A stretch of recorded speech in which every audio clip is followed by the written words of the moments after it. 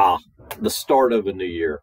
I like to use this opportunity to think about ways that I can improve myself. You know, I set a few resolutions that I will definitely, absolutely, without a shadow of a doubt, fail.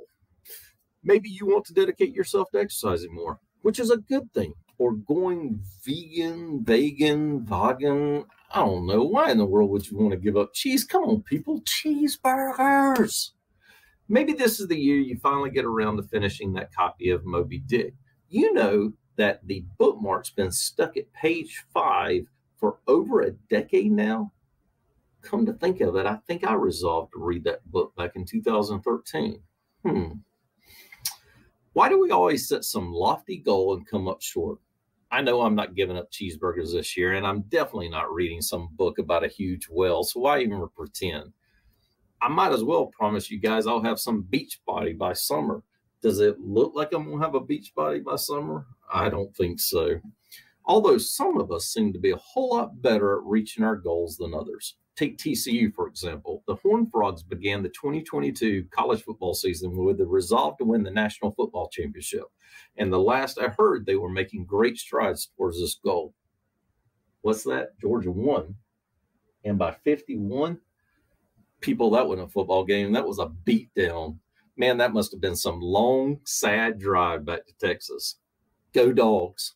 what can I say? Hey, I like to root for a winner. It's a lot more fun than losing.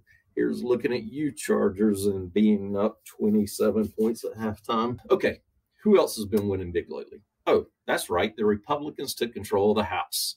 That's big news. Sure, it's a narrow lead, but that's all it takes to bring some sense back to this government.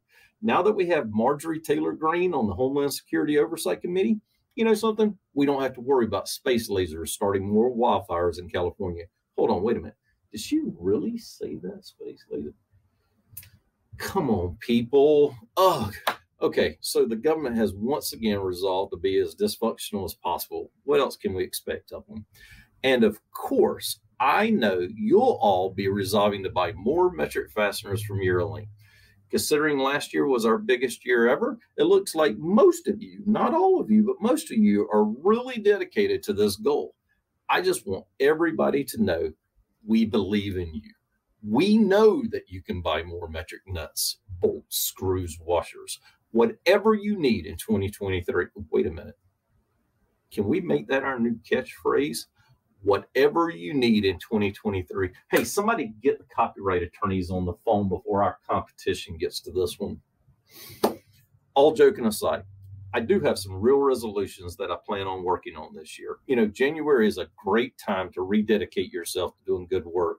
For me, that means spending more time in my Bible, spending more time with my family, giving back to the community around me, and hoping that I'm getting better at doing these vlogs but based on your reaction so far, maybe I'll start that one in February with my love log. Woohoo!